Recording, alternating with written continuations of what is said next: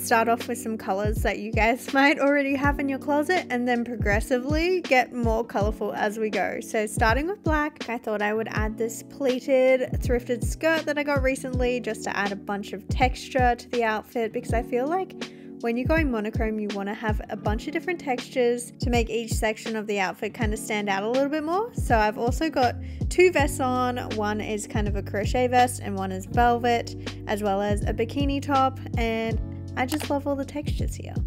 Now I know this isn't exactly full monochrome, but we're using black as the base color for this one. And I love the mix of the different patterns where we have the ditsy floral pattern against the yin yang pattern because you know I love yin yang and I've even got yin yang socks with this one as well. And I think it's cool when you're doing monochrome looks. It's always good to think about all the kind of patterns that you have in your wardrobe that may fall into the color that you're going for.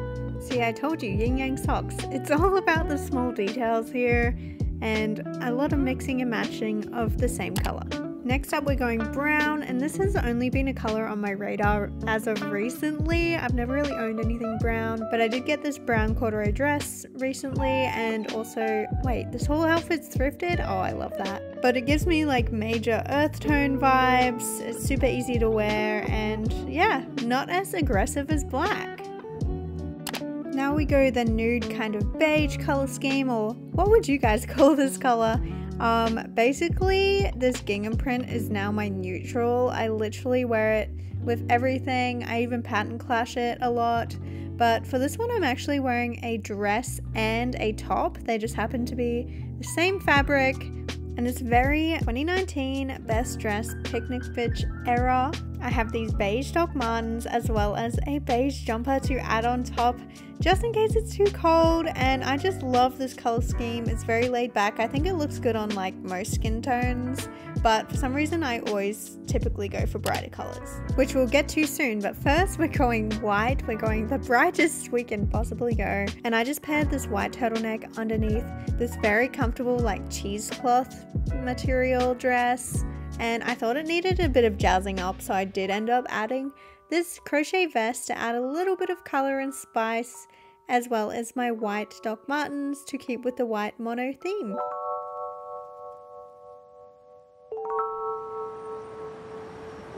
For this one, I thought that the colors in my top and my pants just matched so perfectly that I had to do this outfit. I know it's quite colourful for a mono fit, but the base colour is white, so does that count? Like, let me know if this counts as a mono fit, but I do really enjoy that everything kind of flows together quite nicely, and I've added my Doc Marten Jadons at the bottom to kind of grunge it up a little bit. As you can see, creating pale outfits is pretty easy because it is a color that we tend to have in our wardrobe a lot more. And we got a lot of textures going on here. We got the checkerboard pants, as well as the cardigan, which has this nice soft cozy texture and then the top is like an elevated basic white tank but the straps are going to the side. Now we're approaching colourful territory. We have a yellow to start us off. I'm wearing this yellow dress and sometimes it feels like dresses you can't really change up too much. But for this one, I did add this little vest top to add some texture, add something different so I'm not just wearing this dress the same old, same old. And I actually got it from Depop so I didn't have to pay for postage, but I actually think it's really cute. But you could also add like something like a jumper on top if it's coming into winter like it is here for me in Australia and that is how you can transition some of your summer pieces to winter. But if you are coming into summer, just wear the dress, add some cute docs, and you're good to go. So I don't have many orange pieces, so I kind of merged together the same tones. We got the like chocolatey brown with orange, and they kind of all go together to this warm, yummy, delicious. Why are we talking about food? Am I hungry? Um, outfit. Now I also have these really cute socks and I just want to show you how perfectly the colors go together with these sandals. But yeah, I love wearing bright colors like this. It makes you feel warm. It makes you feel like dancing, I guess. Um, I think I just had a good playlist when I was making this video. Now onto red, and I do think I have done something similar before in other videos, so I tried to change it up a little bit by adding this red top on top, as well as some red Doc Martens to complete the full red look, and I think it's super cute that you can add a little top to a dress to turn it into a skirt.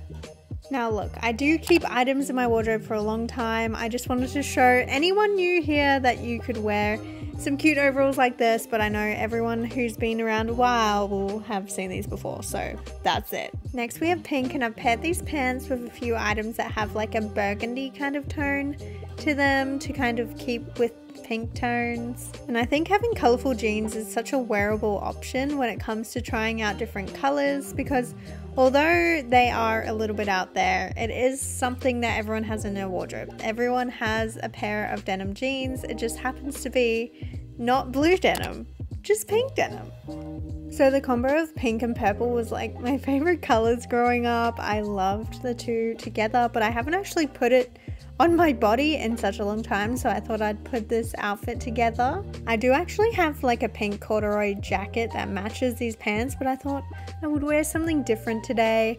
And then I kind of found this t-shirt, which I realized would have looked really cool with the outfit to make it even more purple, so I added that. It is a Flintstones tee. Go ahead and let me know your favorite Flintstone. I like Pebbles. That girl has major hair goals. We love the ginger locks. So you've now officially seen every purple item that I own in my wardrobe. I've only got these three things. This crochet top, yin yang pants, and I went for just a basic plain white tee underneath to go with the white background in the pants. And I really like how this one ended up turning out. It's very cool. Next is blue, and this is something you could probably put together with things you already own in your wardrobe because we're going with denim. We got a denim shirt and denim jeans to kind of have a makeshift like jumpsuit look. They are the same color and the same tone, so hopefully it kind of blends together and it kind of looks like workwear with style. It's super comfy and super wearable. I've added this blue dolphin hat as well if it actually fit my head, but I got buns on today, so no hat options are available to fit my big noggin. And here's an idea of what I was listening to at the time.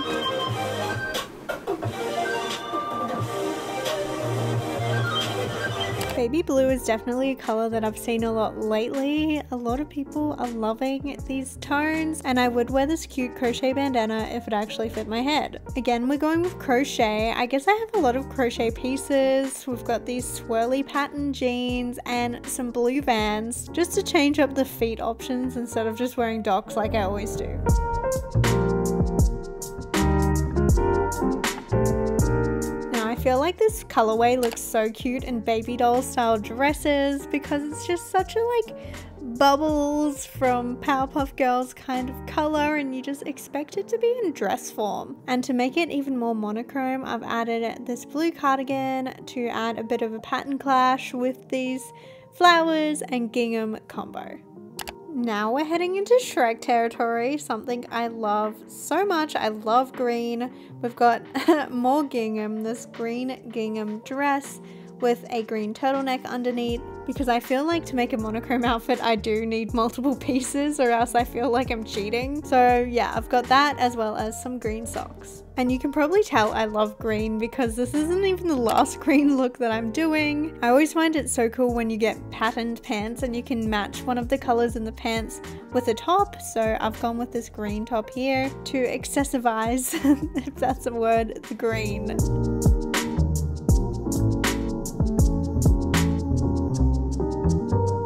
Then lastly, I've got this two-toned green option. We got the darker forest green with the brighter what is this kind of green? Like lime green with this yin yang swimsuit. I told you I'm obsessed with yin yang. And gingham, which we have in the button up. Oh my gosh, I have a problem, but I hope you like this look.